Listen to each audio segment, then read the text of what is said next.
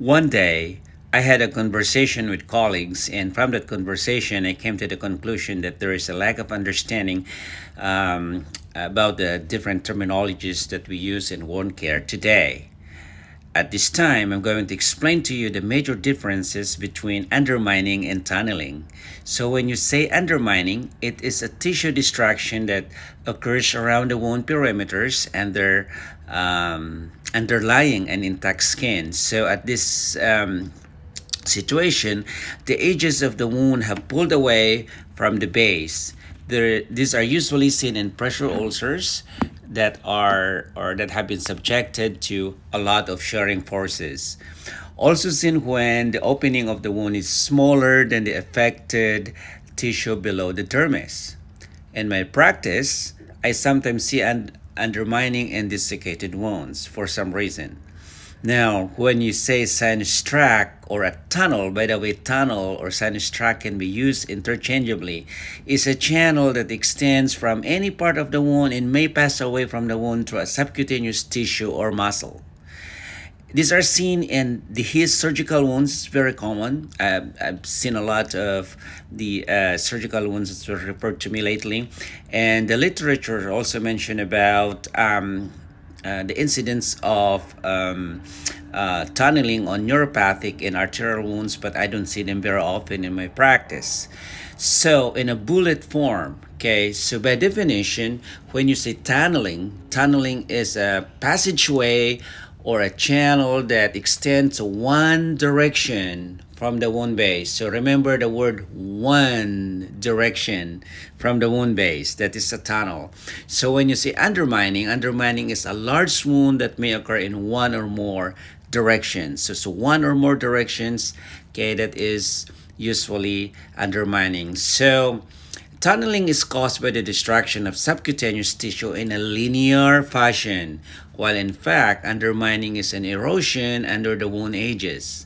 So direction, like what I said earlier, is unidirectional in tunneling and it's multidirectional in undermining.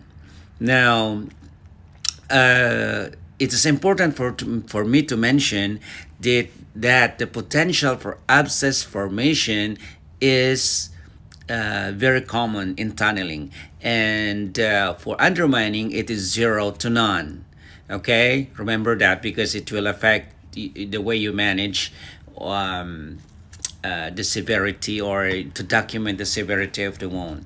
Okay, now, um, so the extent of penetration in tunneling, it penetrates more deeply into the tissue and uh, while in in contrast, in undermining, it is less extensive.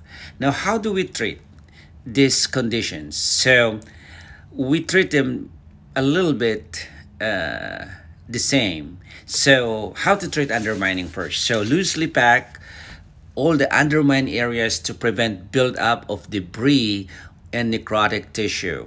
So you need to apply dressings as a hydrogel, gauze, or my favorite is calcium alginate. I just um, tuck it in and, and loosely, the word is loosely, do not um, overpack. It has to be loose. Okay, and how do we treat a tunnel or sinus tract? So loosely pack the dead space with appropriate dressing to stimulate uh, granulation and contraction.